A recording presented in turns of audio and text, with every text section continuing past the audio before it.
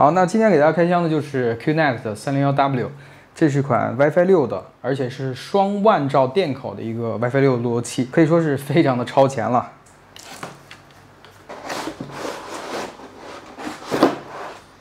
我们可以看到它是一个四十瓦的电源。好，那这个就是它的本体了。底部呢是散热格栅的地方。好，那正面呢有一个 QNET 标志，确实不太像是一个路由器的一个样子哈，就是表面上它好像是没有天线，但是其实它的天线是内置的，它里面有八根的内置天线。再来看一下这个正面的接口，左边呢是 DC 输入，然后一个物理的开关，还有一个 WPS，还有一个重置按键，两个 USB 三点零，两个万兆的电口，然后四个千兆的网口，可以说它的配置是非常旗舰的。那这边呢是产品保修卡。说明书这边开箱之后呢，总共就是这么多。嘿，大家好，我是悟空。那今天跟大家分享就是手边这一台来自微联通的 QHERA 301W。那这台路由器呢，可以说是配置非常旗舰，非常高。直接一步到位了，双万兆电口加满血版的 WiFi 六，就是支持一百六十兆赫兹频宽的 WiFi 六。那通常情况下，WiFi 六和这个双万兆这两个名词都不会同时出现，而这一次呢，WiFi 六和这个双万兆竟然出现在一起了。然后在 SOC 方面呢，它采用的是高通的 IPQ 八零七二 A，这也是高通系列里面非常高端的一个 SOC，应该是 Pro 幺二零零平台的。那据我所知，并不是所有的路由器，尤其是硬路由，都能够支援双万兆的，只有高端旗舰系列才有可能支援这个双万兆。那我自己查了一下，大概是高通的 Pro 幺二零零、Pro 八百和 Pro 六百，仅有这三个平台是支援这个万兆的。所以大家可以看到，其实这个万兆呢，还是依赖于平台的。那说到这个万兆，尤其是这个双万兆，到底有什么用呢？那以我为例，我一般都是做剪辑的时候可能会用到万兆。通常情况下，如果你不接交换机的话，就是直接万兆对万兆直连的这种方式，然后设置一个静态 IP。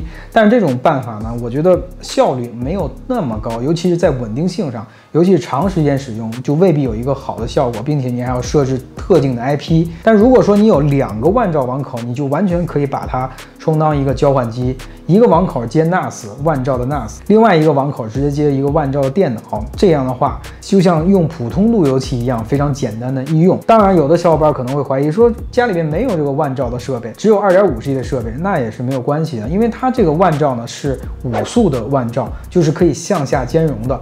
那可能大家观察到，这次的这个路由器呢，并没有这个外置天线哈，实际上它已经做了隐藏式的天线在内部。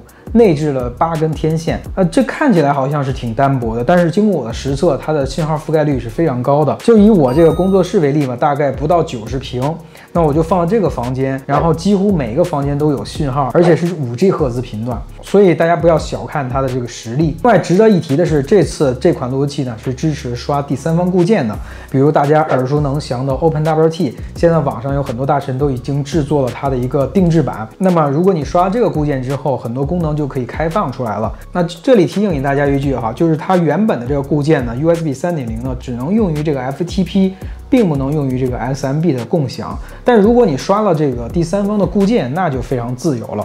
而且这里面的这自由程度、开放程度是非常高的。一般情况下，像 SSH 这种功能呢，不会给用户开放的。但是这个微联通的这个三零幺 W 呢，它是通过一些按键呢，就可以把这个功能开启。在这一点上就增加了这个可玩性。好了，那前面我们就不废话了，马上带着大家一起来体验一下这款产品吧。通电之后呢，我们可以在浏览器里面输入一九二点一六八点一百点一，进入到路由器的后台。首次使用呢，最好是新建一个本地的管理员账号。默认的账号呢，大家可以在路由器的背面查看。好，那我们这边呢，进入到后台就可以看到，这是一个非常友好的路由器的界面。相对于这个传统的路由器呢，我觉得这个界面不仅美观，而且看起来非常高级。在这个网页的左侧呢，就可以看到它所有的功能。首页呢是仪表盘，可以看到路由器的上网模式、连接状态等一些基础的信息。那么第二项呢，就是 QNET 一个特色功能叫 Q One。简单的说呢，它是一种 SD-WAN 技术，它可以将分布在全球的这些局域网组成一个大型的 Mesh 广域网。加入到广域网的这些设备呢，可以通过内网 IP 进行互访。每一个节点呢都有多个节点同时连接，所以说当一个节点挂掉的时候也没有关系。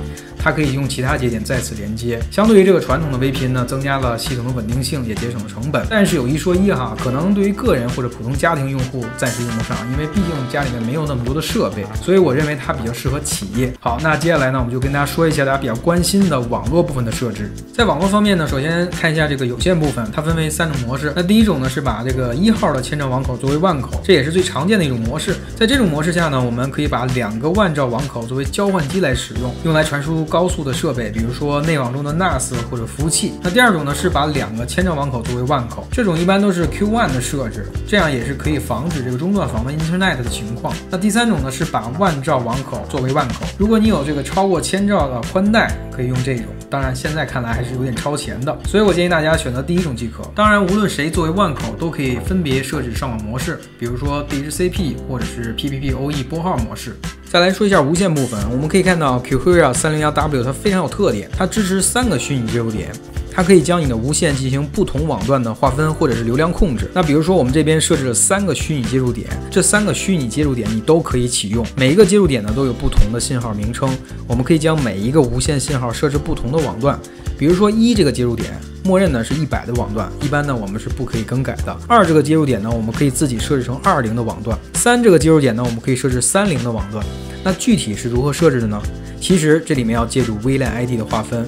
那具体来说呢，我们可以在左侧的网络里面找到 VLAN 服务设置，在这里呢，我们可以任意的添加自己想要的这个 VLAN 的网段，点击添加 VLAN，输入 VLAN ID，比如说五，VLAN IP 地址呢就是我们想要的那个网段，比如说一九二点一六八点五零点一，然后最下面呢，我们要勾选这个启用 DHCP，那这样。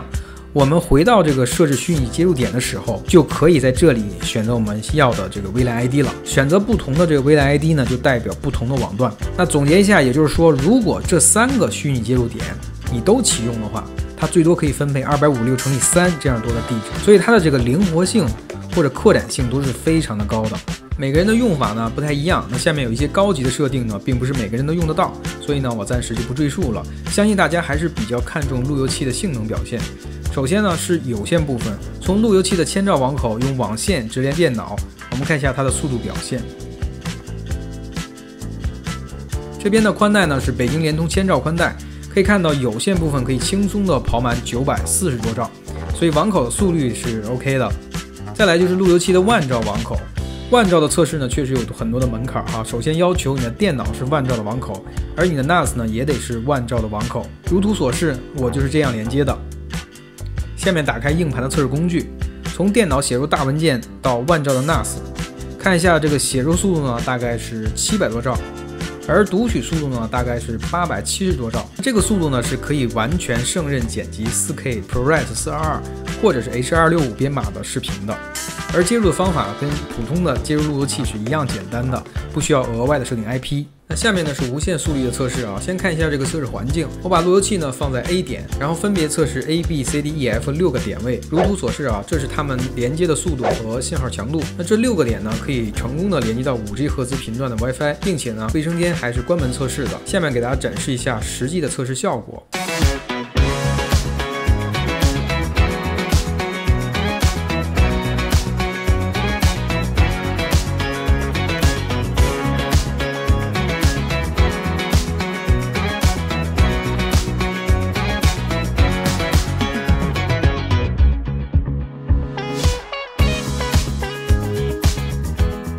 测试之后呢，我们可以看到这六个点的速度都非常的给力，基本上每个地方都是七百五兆以上。一点呢可能略微远一些，速度是六百二十九兆。对于这个 WiFi 六的整体表现呢，我是非常满意的。基本上一个路由器可以覆盖各个房间。以上呢就是原生固件的表现。那接下来呢，我们简单说一下第三方固件。